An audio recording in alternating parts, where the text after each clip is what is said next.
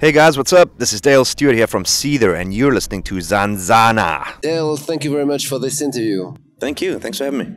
It's a pleasure for me to have you on this interview because you're from South Africa and I'm from North Africa, so we're between Africans, you know?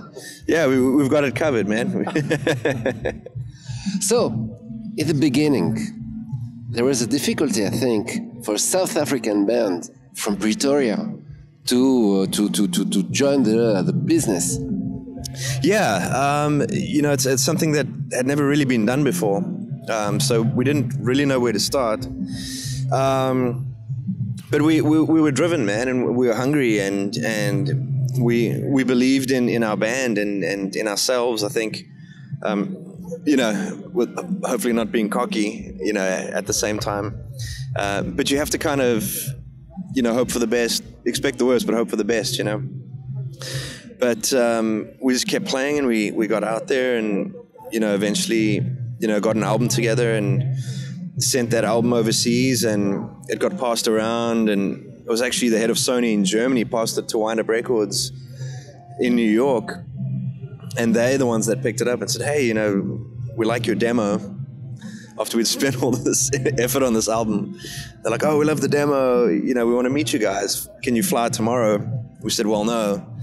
Being from Africa, we need, or being from South Africa, we need visas to go absolutely anywhere in the world. So give us a week. We'll we'll get visas, and then we'll come. You know, see you guys." And we flew to New York and played a showcase, and they signed us. Yeah, crazy. And was there a scene in South Africa when, uh, in that time?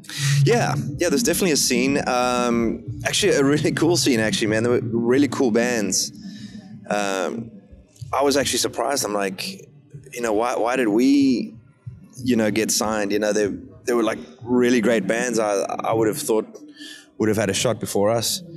Um, but, you know, I'm, I'm obviously grateful. But, um, the scene was really cool back then. Uh, honestly, now I've I've been living in the states so long, like I don't get back a lot, and when I do, it's strictly family time. Like I don't go out to clubs and, stuff. You know, I just I just want to spend time with the family. Um, so I'm not really sure what it's like now, but. Um, but it was cool, man. And then, you know, the couple years after we left, you know, then they started, they opened, or, you know, started like a little TV station that played local music videos for local bands and things, and it really kind of took off, and um, that was really cool to see. Um, where it's at now, I don't know. I think I think rock, you know, rock's kind of I don't want to say it's suffering, but it's just um, I don't know. It seems to have taken a bit of a back seat, you know, in a lot of a lot of the world, um, which is fine because you know it means that the comeback's on the horizon. But um, yeah, I'm, I'm sure it's it's the same there as, as, as in let's say the states or Europe. Probably the states, probably the states more so than Europe actually. And um, the reaction in South Africa when you you first signed your uh, your with the company and get out your your first uh, album, and surely when the the songs became, you know, you, you were on Billboard and things like that.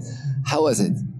Uh, the whole thing was crazy, uh, like a, a, a, sort of a whirlwind. Um, when we got signed by the label, that was just.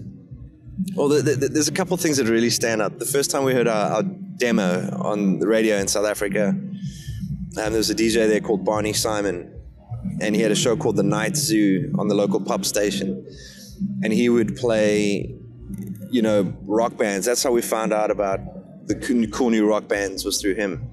Um, but then he, he was like, oh, you know, send me your demos. You know, if I like it, I'll play it.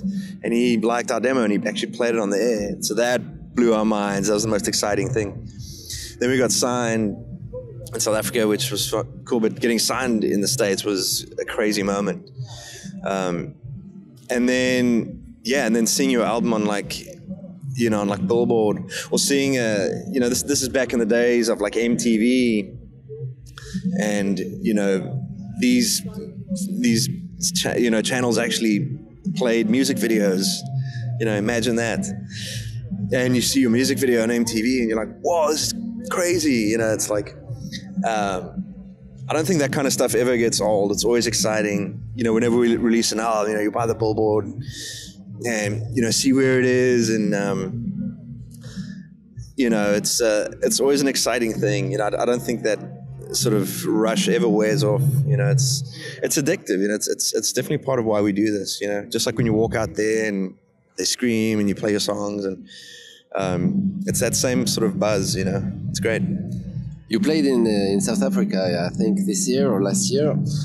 How the reaction? How the the the the, the, the people that came? Um, yeah, we actually played there just a couple weeks ago. Um, we started this tour about eight weeks ago um, in the UK, then South Africa, Australia, New Zealand, and then finishing up here in Nine Europe. Uh, it was really good, man. The the reaction was amazing.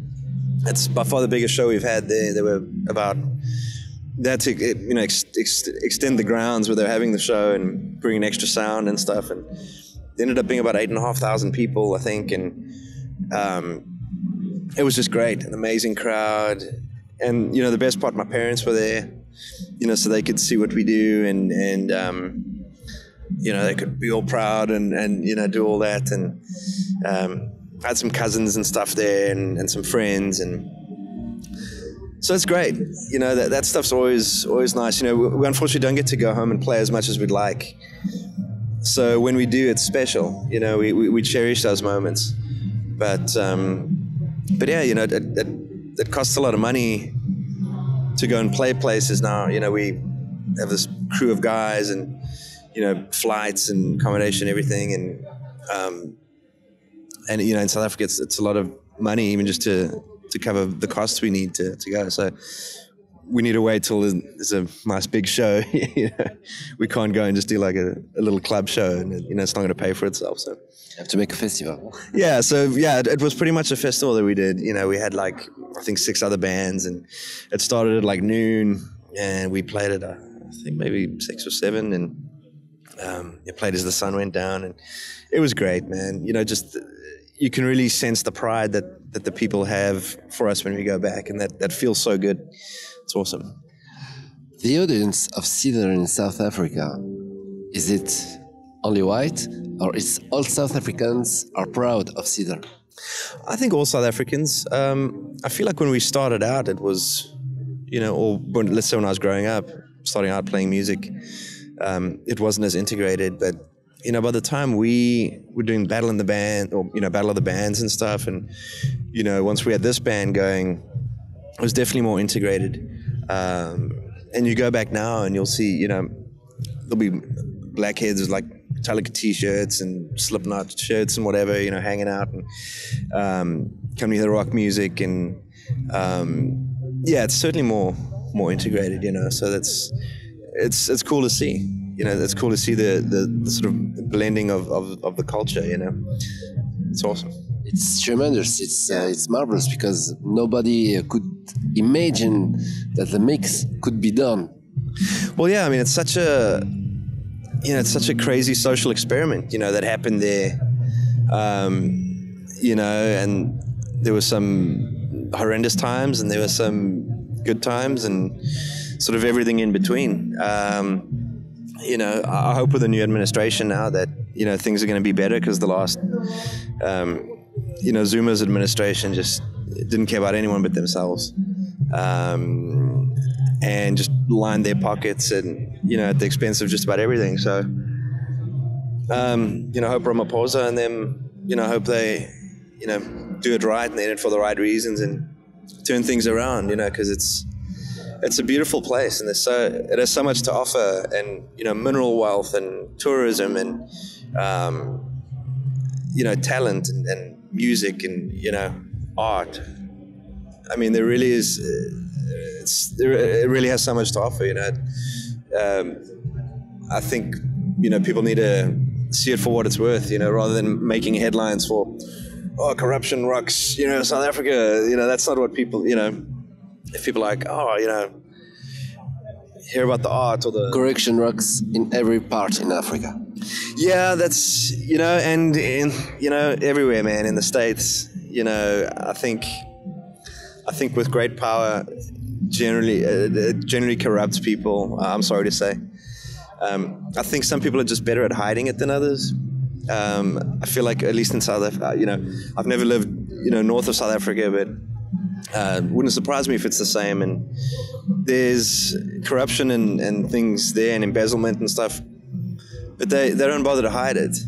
You know, I, f- I feel like maybe in Europe or the States, um, there's corruption and whatnot, but they, they're just good at hiding it. In South Africa, they don't even care. Like, what are you going to do? Like, what can what can you do? Like, yeah, I took the money, so what?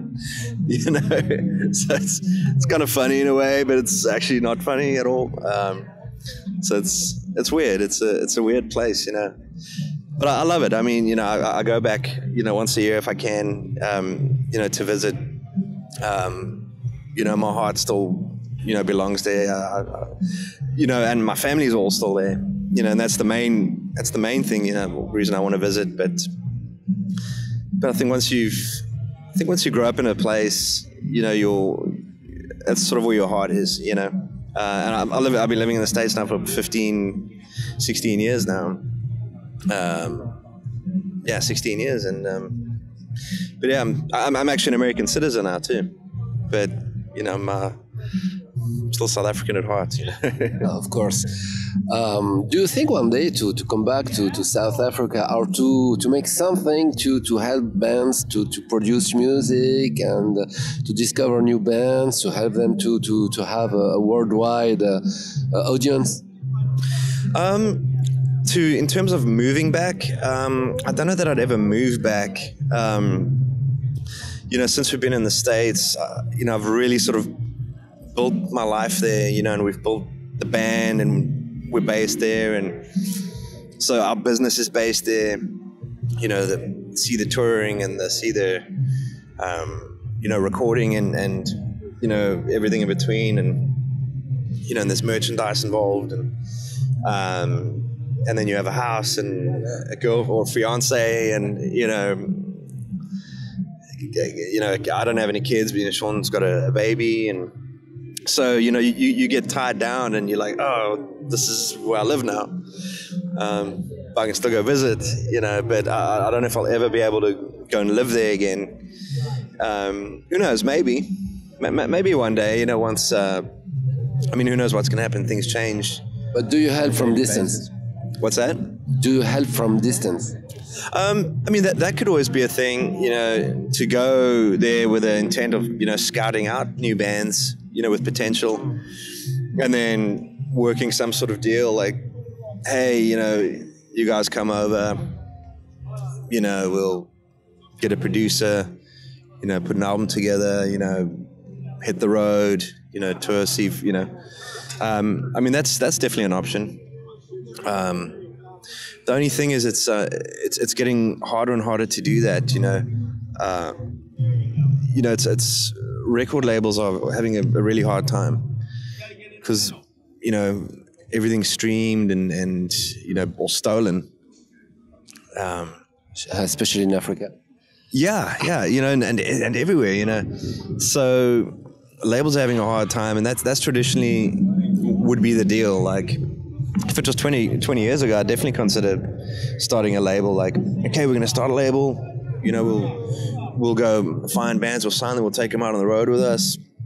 We'll promote them, you know, and then if they if they sell albums, we get our cut. Everybody wins. But now to do that, you'd have to get guys over, and then you'd have to kind of pay for it out of your pocket. Be like, okay, we're going to do the album, and then you'd have to be like, okay, well, we're going to do a 360 deal. Like, so I want, you know, 25% of merch and 25% of your live fees and like the labels are doing now. And that kind of sucks, man. Like, I don't, I don't know that that's fair for a young band, you know, and a lot of bands sign these, these 360 deals and maybe it works for some of them. I just, I just don't think it's cool. Um, but I guess that's kind of what you have to do if you're trying to keep your label afloat. Um, but yeah, I, I just feel like there's, you know, sort of a diminishing piece of the pie that everybody's trying to divvy up. And the bands, as, as it was, were really not getting much. I mean, the whole industry, like, you get signed, and then the label's basically a bank, so they give you all this money to make an album. They're like, okay, now you pay us back through your album sales, um, but only once you've paid us back this million bucks or whatever it is, um, will you start getting your percentage of the royalty. So you don't make anything until that point. Then once you once you've paid once you've recouped that debt, then you get something like fourteen percent of like each CD that's sold. Nothing. I mean, bands get like so can I say screwed over like on these deals. Um, so all you have left is okay. Well, at least we, we have our merch. We can sell merch at the shows you know, maybe meet and greets, that's the new thing. Um, you know, and then you get your fee to play live, you know, so there's these things like, okay, at least we have that because they've made all the money on the CDs. And I don't know if it's true of all labels, but our previous label before this one, um, some reason we never seemed to to recoup.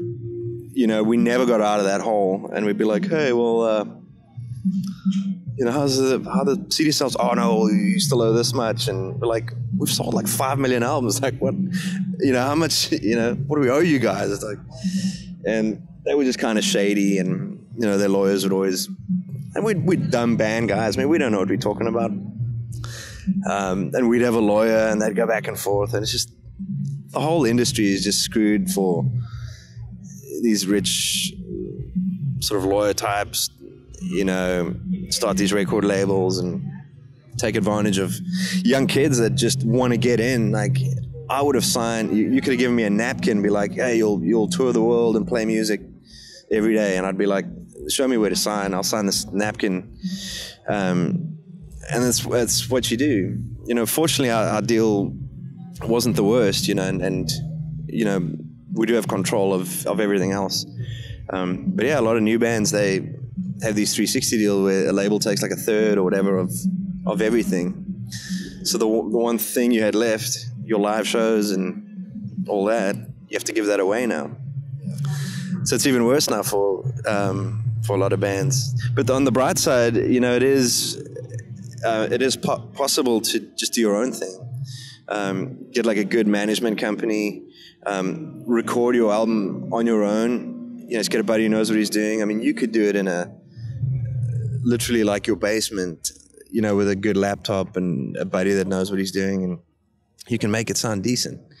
That's you know, such as the technology nowadays, and then you can promote it yourself. And and you know, if you wanted to sell physical CDs, just you know, there's companies that have to, you know, will do a distribution. Oh, uh,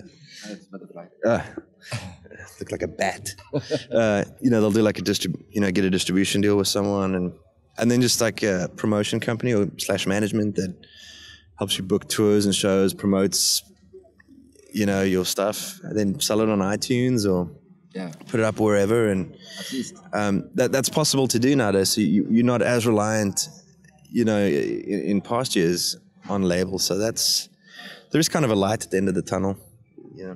Thank you very much, Dale, uh, and it was very uh, good pleasure uh, talking with you. Uh, so, how about now for Seether? Um, well, right now we're just winding up this tour. Um, we have a week left. We end in Amsterdam, so that that's going to be fun. Um, and then we go home for about two weeks, and then we do a month long run in the states, and then I think we have another break, and then another run in the states, which will lead us up to Christmas. Um, and then we re- we really would like to come back to Europe uh, in the new year and, and, you know do the the big festivals um, you know, the big European festivals in the UK and um, put a couple of our shows in, you know, in between. And I'd hopefully Tunisia one day. That'd hopefully. Cool. I'd love to see it. Do you know some uh, Tunisian bands? I don't. I don't know any. You'll have to you have to name me something that I can I can. Do you know Myrath? Myrath. It's no. A prog, it's a prog band. Okay. I'll YouTube it.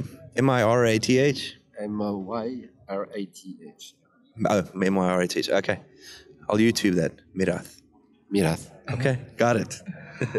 Thank you very much, Dale. Thank you. Sorry, sorry for rambling uh, like a crazy person. no.